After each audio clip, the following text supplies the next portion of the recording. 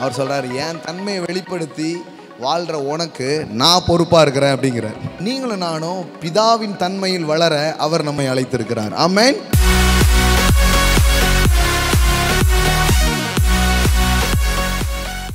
மனுஷனுக்குள் இருப்பதை அவர் அறிந்திருந்தபடியினால் எல்லாம் சொல்லுங்க மனுஷனுக்குள் இருப்பதை அவர் அறிந்திருந்தபடியினால். அவருக்கு நல்லா தெரியுது. நீ யார்? நீ எங்கேருந்து வந்திருக்க? நீ என்ன பண்ணுவ?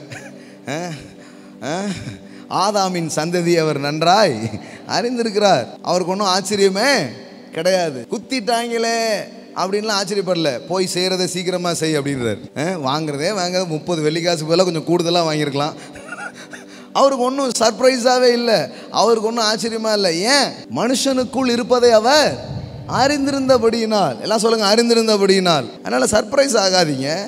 அதே நேரத்தில் அவங்களை குறை சொல்லணுங்கிறதும் இல்லை. அப்படிப்பட்ட ஒரு தன்மை அவங்களுக்குள்ளே இருக்குது ஆனால் நீங்களும் நானும் பிதாவின் தன்மையில் வளர அவர் நம்மை அழைத்திருக்கிறார். ஆமேன் எல்லாம் சொல்லுங்கள் டிவைன் நேச்சர் ஆமேன் அப்போ மனுஷனை பற்றி அவருக்கு ஒன்றும் யாரும் மனிதரை குறித்து ஒருவரும் அவருக்கு சாட்சி கொடுக்க வேண்டியதா இருக்கவில்லை. ஏன்னா அவர் தெரியுது. பாருங்க சமூக சமுதாயத்தில் மக்களோடு வாழ்கிற நமக்கு இந்த நாலேஜ் ரொம்ப அவசியமாக இருக்குது.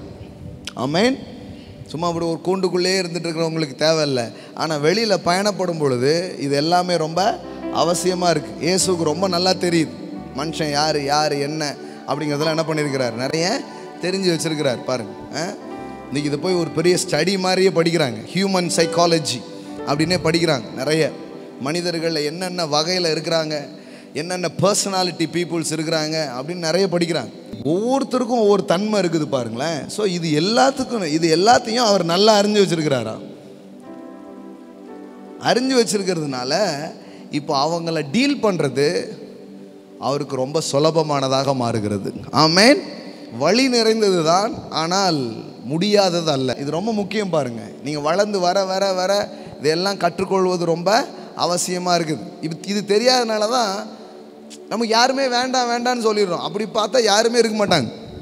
அப்போ இதெல்லாம் புரிஞ்சுக்கிட்டு தான் இங்கே ஒரு மனித உறவுகளோடு ஒரு பயணத்தை மேற்கொள்ள வேண்டியது அவசியமாய் இருக்கிறது. ஒவ்வொருத்தட்டையும் ஏதோ ஒரு விதமான பலகீனத்தை அவங்க என்ன பண்ணுறாங்க வெளிப்படுத்துகிறாங்க நன்றி கிட்ட தன்மையை வெளிப்படுத்தலாம் அன்பற்ற தன்மையை வெளிப்படுத்தலாம் உண்மை இல்லாத தன்மையை வெளிப்படுத்தலாம். என்னென்னமோ என்ன பண்ணுறாங்க வெளிப்படுத்துகிறாங்க ஆனால் இதுக்கு நடுவில் நீங்கள் ஒரு ஸ்ட்ராங் ஃபவுண்டேஷனில் இருக்கணும். இல்லைன்னா நம்மளை சாட்சிப்படுவாங்க என்ன என்ன ஃபவுண்டேஷன் முதல்ல பிதா எப்படிப்பட்டவராக இருக்கிறார் அப்படிங்கிற ஒரு ஃபவுண்டேஷன் என்ன ஃபவுண்டேஷன் அவர் எப்படி இருக்கிறாரு? நன்றி கெட்டவர்களுக்கும் துரோகிகளுக்கும் நன்மை செய்கிறவராக இவர் இருக்கிறார். எல்லாம் சொல்லுங்கள் ஃபாதர்ஸ் நேச்சர் அடுத்தது மனிதர்கள் எப்படிப்பட்டவர்கள்ங்கிறதை குறித்த ஒரு புரிதல். எல்லாம் சொல்லுங்க புரிதல்.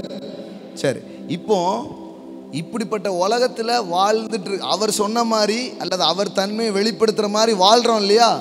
இதுக்கு யார் பொறுப்பு? அவர் சொல்கிறார் என் தன்மையை வெளிப்படுத்தி வாழ்கிற உனக்கு நான் பொறுப்பாக இருக்கிறேன் அப்படிங்கிறார்.